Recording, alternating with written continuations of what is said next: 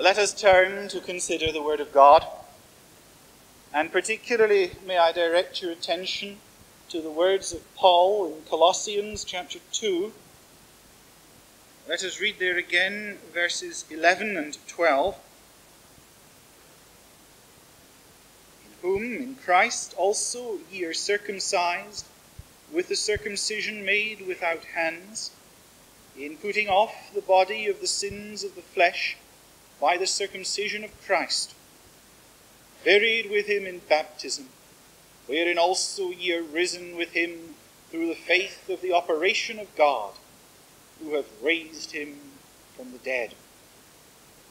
And my theme this evening especially centers round the words there at the end of verse 11 the circumcision of Christ.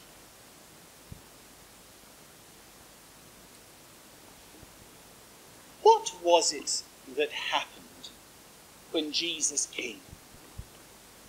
How are we to understand our Lord's coming in relation to the outworking of God's salvation? Was it the case that when Jesus came, God was saying no to all that had gone before?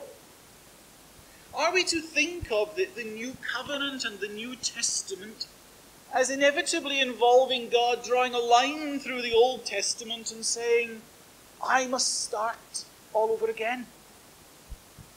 Not at all. Oh, there had been a time. There had been a time when God did start all over again.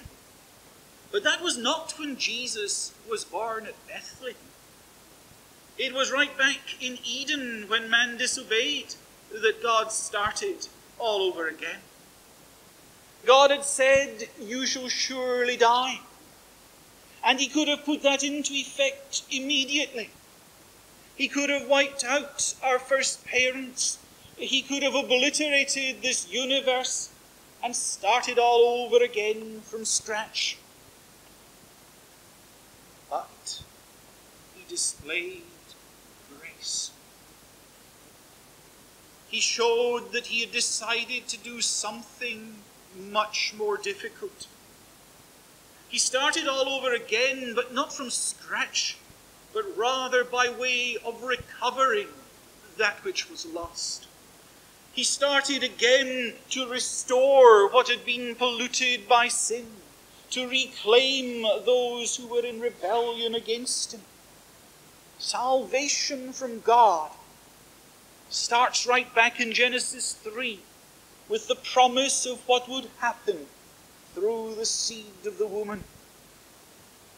And it is the same salvation that has been at work ever since. Now, that's not to say that the coming of Jesus didn't change anything at all.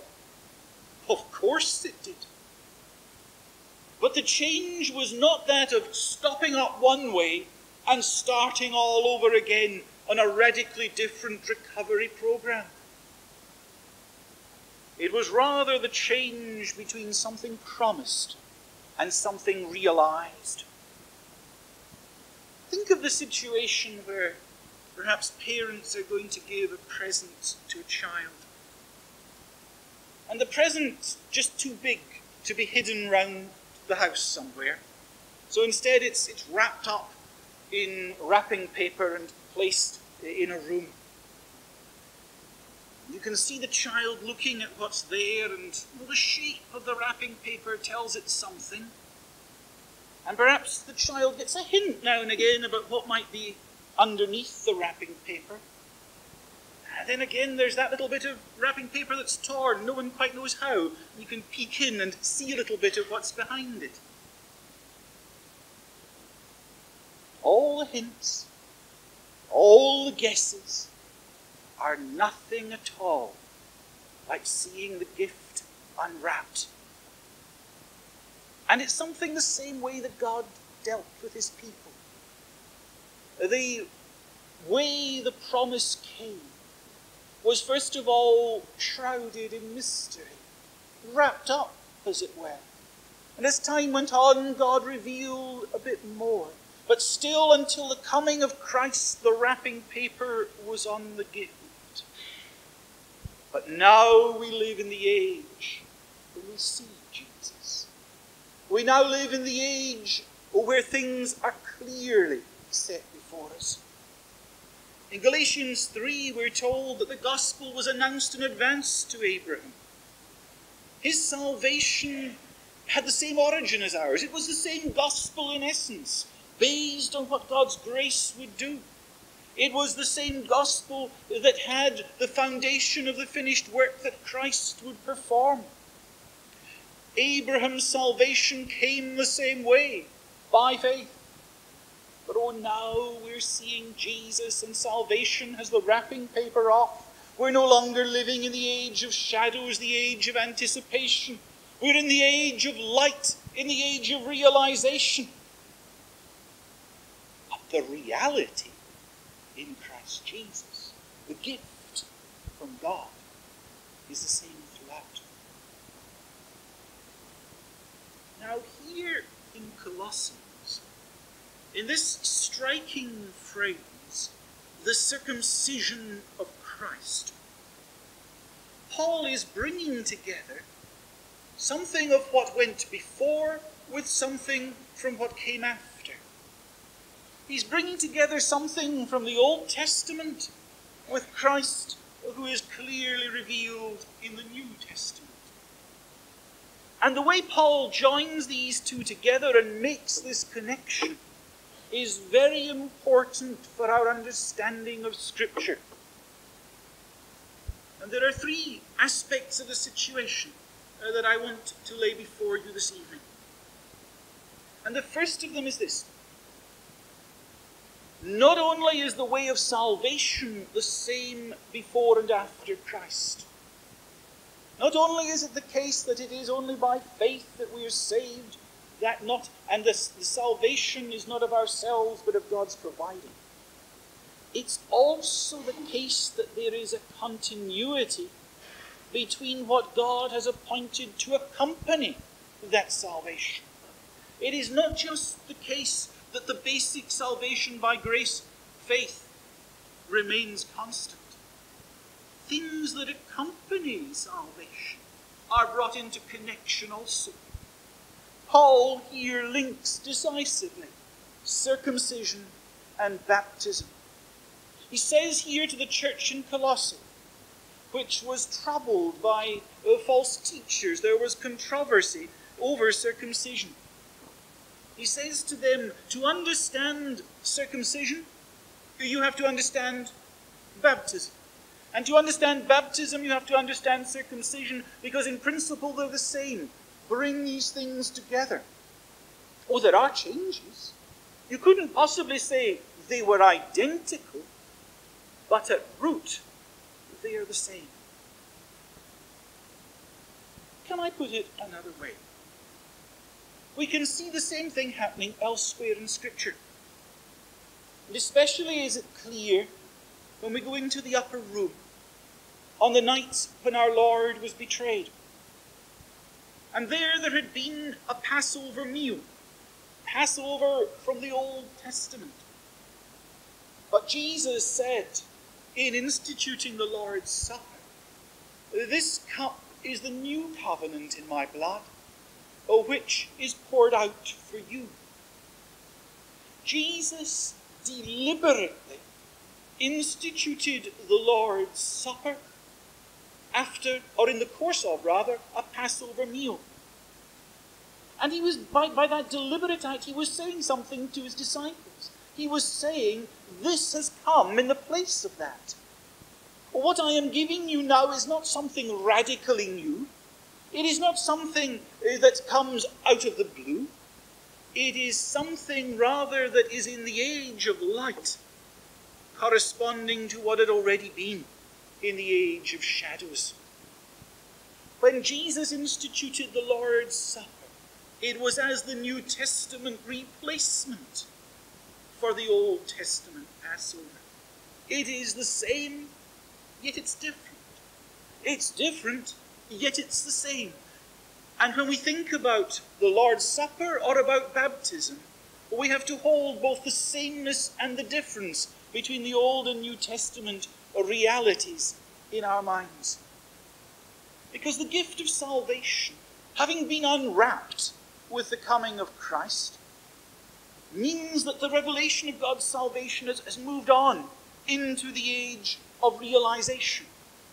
It's no longer the age of promise, it's the age now of reality arrived. We've left the age of blood sacrifices, foreshadowing the one final sacrifice. And we've entered the age of the final sacrifice that has been definitively offered. And so, what is now found, what are now found as the sacraments of the New Testament church, inevitably are different because they are reflecting the fact that we are in the age when there is now no more offering for sin. It has been once for all accomplished. And yet, they are essentially the same. Because the change that came with the coming of Christ wasn't an unplanned change. It wasn't some makeshift expedient that God devised uh, when baptism was inaugurated and the Lord's Supper also. They were divinely shaped to point to the one reality of salvation through the shed blood. They were appointed by God to bring the same message to the church in the New Testament age as it had been to the church in the Old Testament age. They're the same and yet they're different. And that's true both as regards Passover and Lord's Supper and as regards circumcision and baptism. On the one side, the sacraments with blood from before Christ's sacrifice, and on the other, the bloodless sacraments after our Lord's arrival. And yet both point to the same reality. And in the case of circumcision and baptism, they point to the reality of entry into the kingdom of God. They are both ceremonies indicating the fact that purity, purification is needed to be found as a subject of the heavenly King. And it is as we trace out the way in which God's purposes flow on from age to age that we are taken up with holy wonder at the fullness and perfection of what God has done. So we have firstly the fact that God's purposes move on. The reality of his salvation based on grace and appropriated by faith is the same throughout. The sacraments have an essential continuity, but there is inevitable change because of the tremendous impact of the coming of Christ, who has made the final sacrifice. But considering here this circumcision of Christ, the second thing that we've got to do is to ask, well, what all did circumcision involve? in Old Testament days. Because as we find out what circumcision involved in Old Testament days, so we can begin to work out what may be expected of circumcision, of the circumcision of Christ in New Testament days. And the Old Testament tells us very clearly that circumcision, first of all and primarily, was what God had appointed to mark the entry of an individual who believed into his covenant. And that is presented very clearly with Abraham. Abraham, in Old and New Testament alike, the man of faith, the friend of God, the one who is the father of all who believe and set before us as the pattern and the example and the stimulus for our faith. He is the one who believes. And after he had believed, perhaps 25 years after he had first come to know the Lord in a real way, when the Lord came to Ur of the Chaldees and commanded him, Abraham, go, I want you somewhere else. And Abraham obeyed.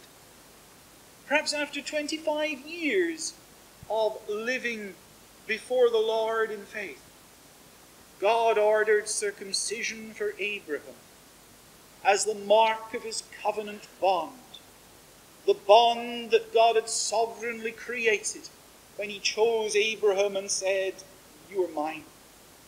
It came, the sign of circumcision came to Abraham as a seal of the righteousness of the faith which he had, yet being uncircumcised. And we see the same in the circumcision of Christ that the New Testament believer has.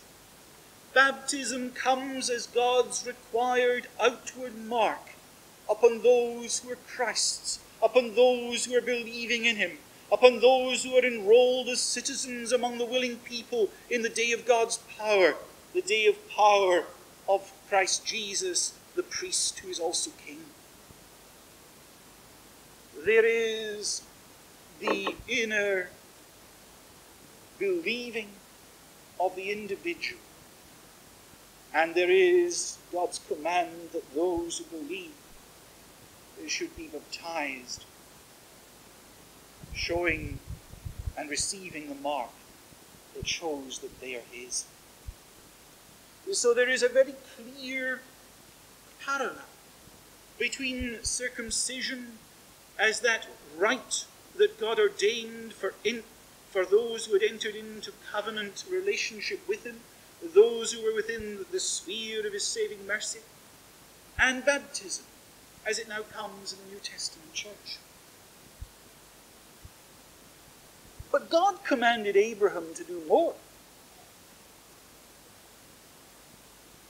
God, who had provided for Adam in his loneliness a wife, family, honors and uses that which he's ordained. And though the salvation of God comes to us as individuals, the reality of God's salvation, the reality of God taking a life and claiming it as his own, cannot be contained within that individual.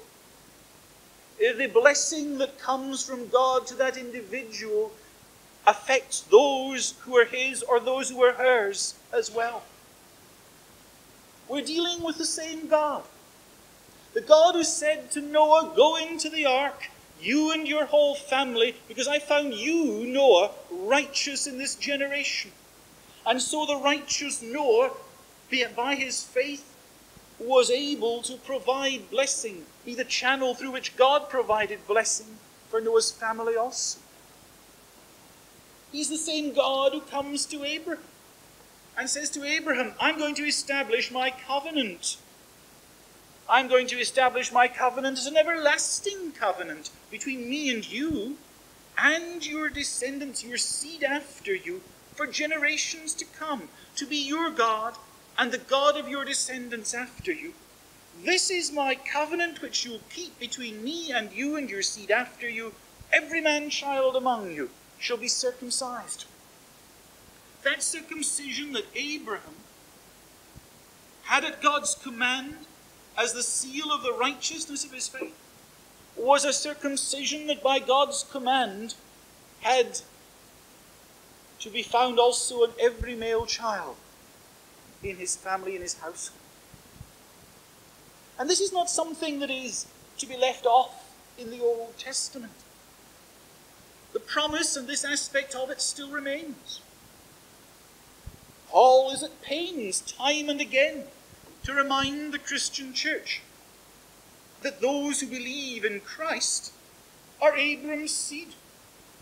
If you belong to Christ, then you are Abram's seed and heirs according to the promise, the promise that was delivered in covenant to Abraham when the gospel was preached to him long before. In Christ, belonging to him, acknowledging him as our covenant king, we have the status of one who is an heir. And all the covenant promises are ours. They are ours because they are Christ's. He is the king. And those who are his people are those who share in the bounty that is the king's. We cannot have it apart from him. But in him are we of all things. And that promise is the same, as Peter made clear at Pentecost. The promise is to you and to your children, and to all who are afar off, as many as the Lord our God shall call. God has not abrogated his covenant. I'll keep my covenant forever. It is an everlasting, a perpetual covenant.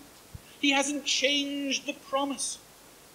And just as the same sign of covenant blessing, the blessing that he was their God, was placed on Ishmael and later also on Isaac also, the same one as on Abraham, so too baptism is by good and necessary inference from Scripture to be extended to the infant children of believers.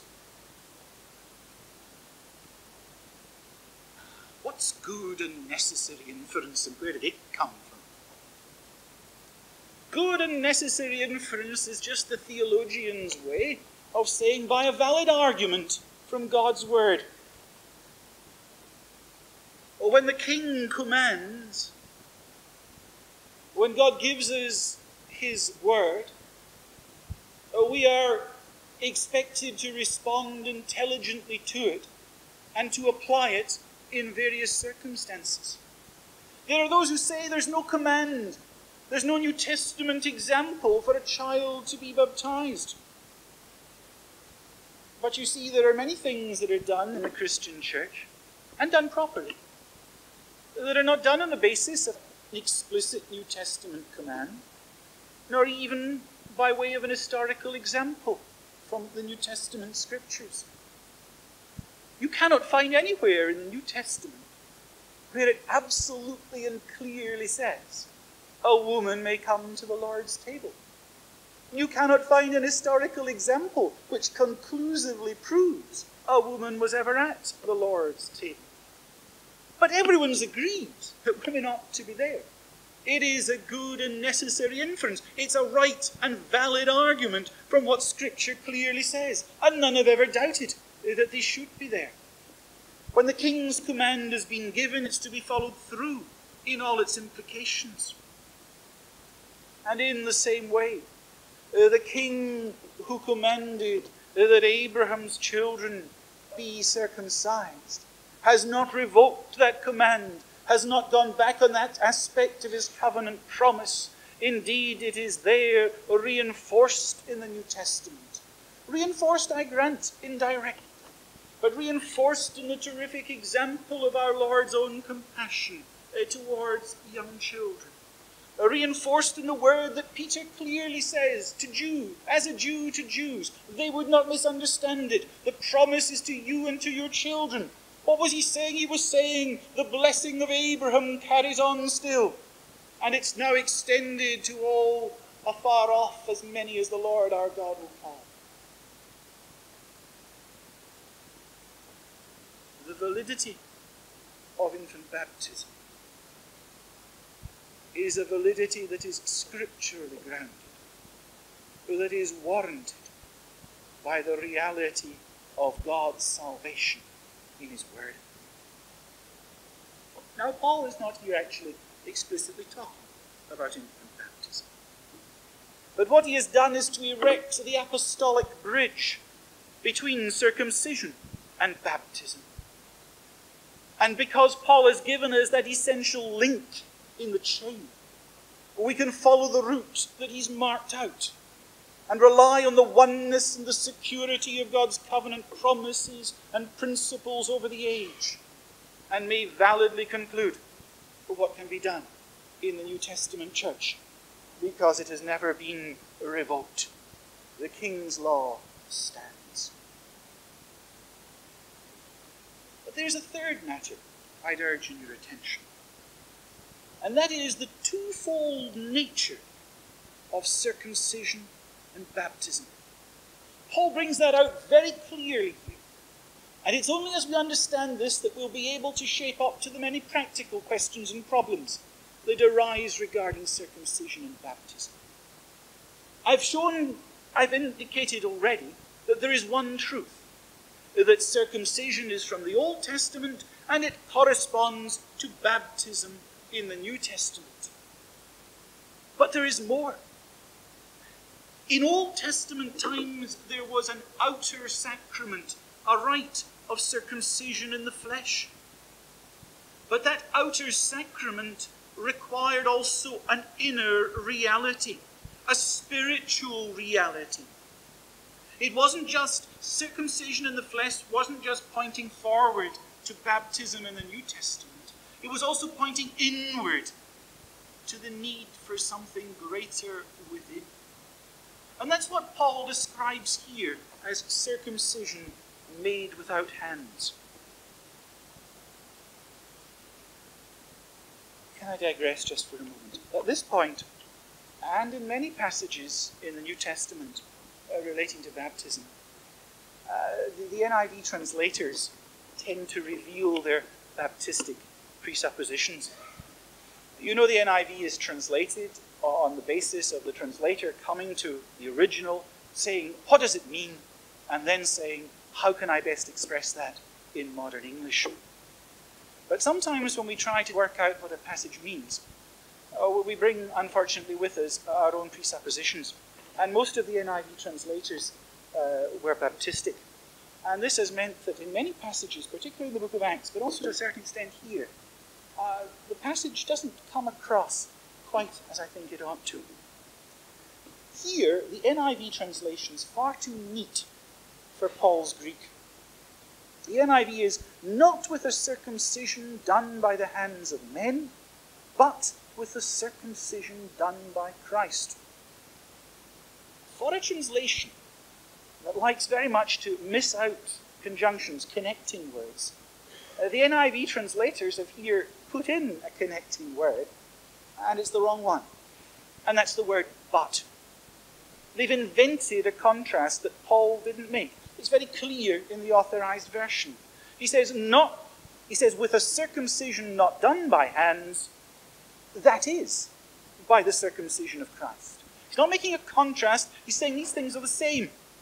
He's making it clearer that the circumcision not done by hands is the circumcision of Christ. It's as if he'd added an IE at the end of the sentence. That is, by the circumcision of Christ.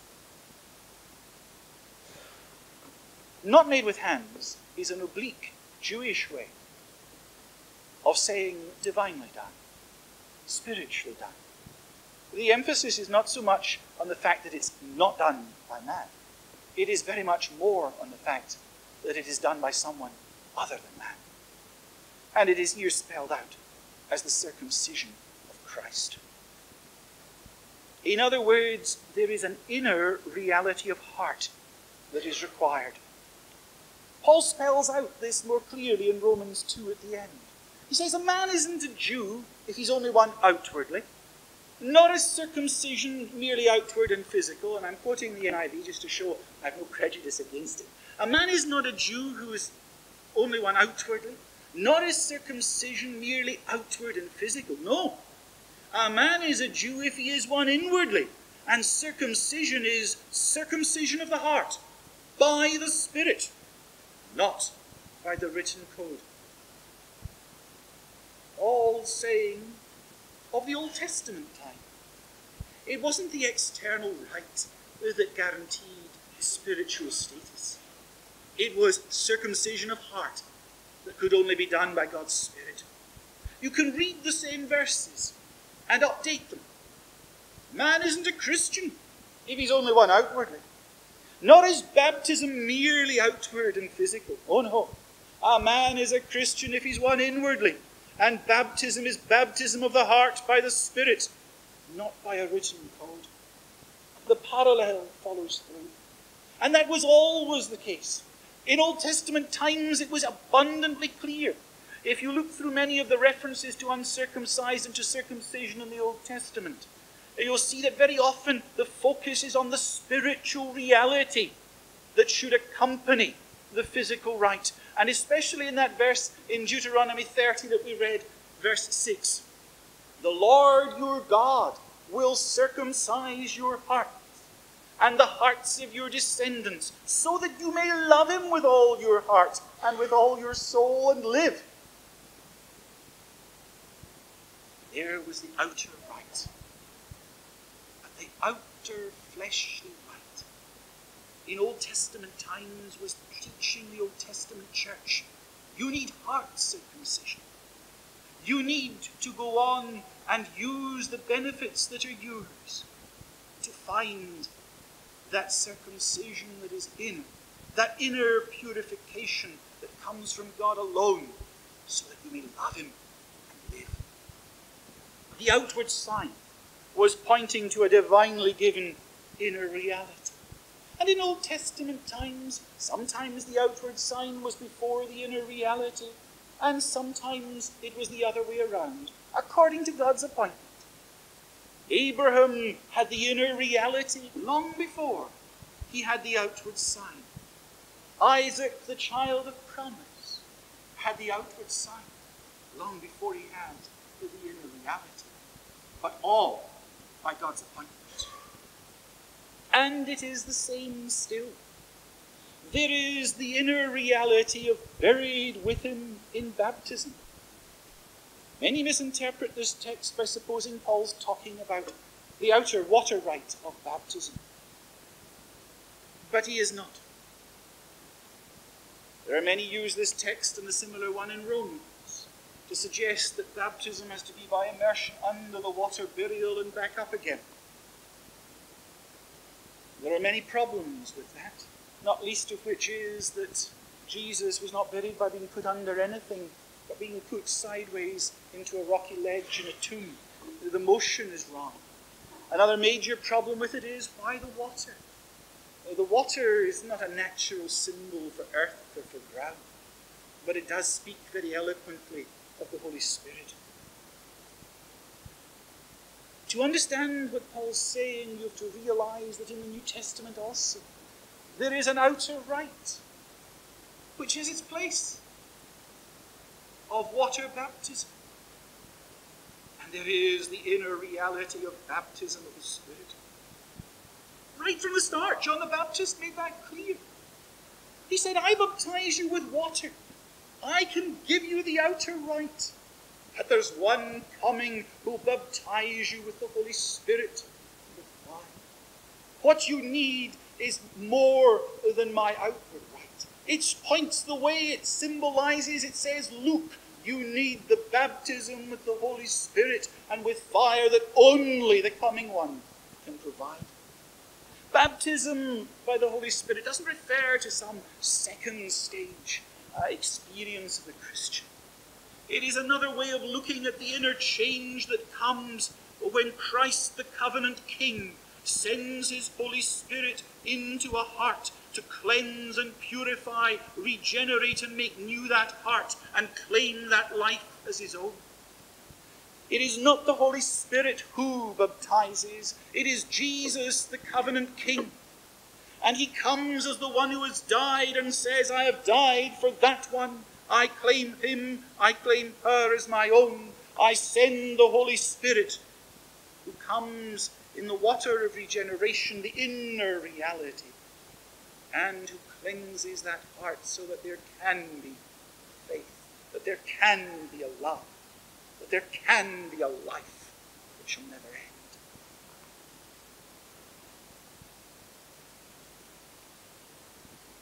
In emphasizing the need for the inner change. We do not disparage. We dare not disparage Christ's appointed outward sign.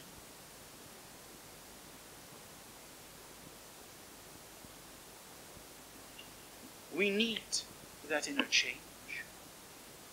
And if that inner change is ours, then we should, if we have not been baptized before, conform to the requirement of the Lord who has saved us. But just as in Old Testament times, the children of Abraham could claim, they could claim circumcision for their children.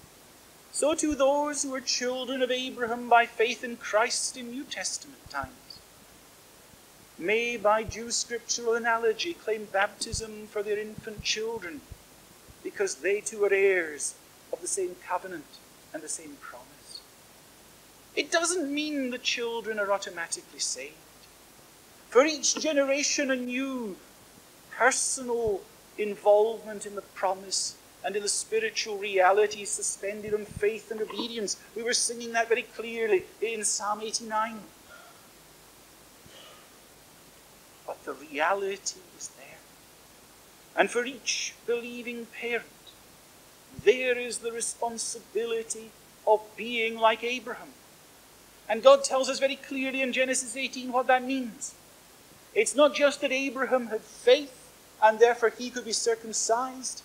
It is also the case that God bears this testimony of Abraham I know him, I have sovereignly chosen him, so that he will command his children and his household after him, and they shall keep the way of the Lord to do justice and judgment, so that the Lord may bring upon Abraham that which he hath promised him. Privilege always entails responsibility. Paul brings that out. He said in Romans 2 there's circumcision. What really matters is inner circumcision. And then he says, What advantage then is the Jew? What profit is there in circumcision? The outward action. And he says, Much every way, chiefly because that unto them were committed the oracles of God. What if some of them didn't believe after being circumcised? Shall their unbelief make the faith of God without effect? For once, well, not just for once, but the NIV there catches it very nicely because it brings out a contrast that is there in the Greek words. Will their lack of faith nullify God's faithfulness? Oh, not at all. You can apply the same to baptism. What advantage has the child baptized in infancy? What profit is there in that? much every way, chiefly because they have committed unto them the oracles, the word of God. There is the requirement, God's covenant requirement, that comes to each and every one who is at the sign of the covenant put on him or her in the young days, saying, There is a privilege and the privilege is one that should, in terms of the vows taken by the parent, have been reinforced by the privilege of hearing and knowing God's word and being brought up pointed to the way of salvation. And that very privilege intensifies the requirement upon us to respond correctly.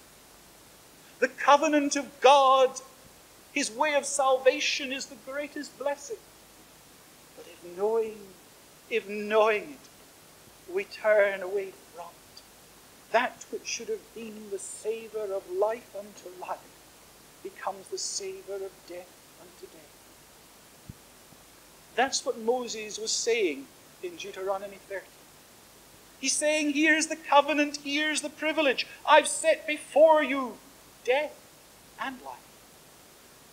And he said, I call heaven and earth to record this day against you, that I've set before you life and death, blessing and cursing. Therefore choose life, that both thou and thy seed may live, that thou mayest love the Lord thy God, and that thou mayest cleave unto him. For he is thy life, and the length of thy days. And every remembrance of the mark of covenant grace placed to the child is bringing before him throughout his life the memory of the covenant choice. The choice that has been solemnly laid before him life and death, blessing and cursing. Choose life. Thou mayest live, love the Lord and be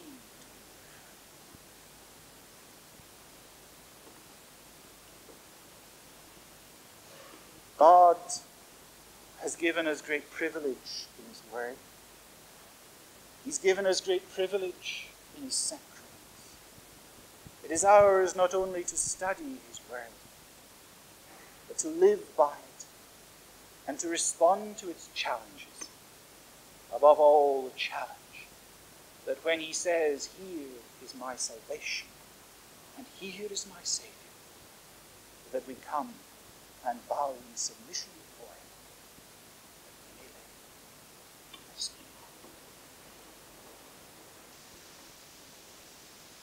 To each of us this night, in our individual circumstances, O Lord, do thou speak.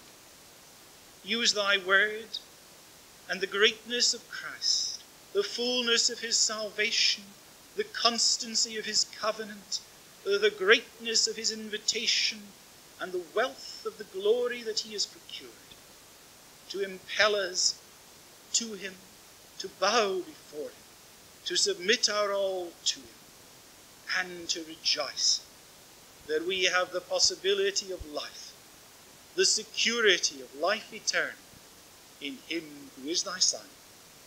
Hear us and accept us. Our concluding praise is from Psalm 111 at verse 5, the tune Winchester. He giveth meat unto all those that truly do him fear, and evermore his covenant he in his mind will bear. To the end of the psalm, Psalm 111 from verse 5, standing to sing, He giveth meat unto all those that truly do him fear.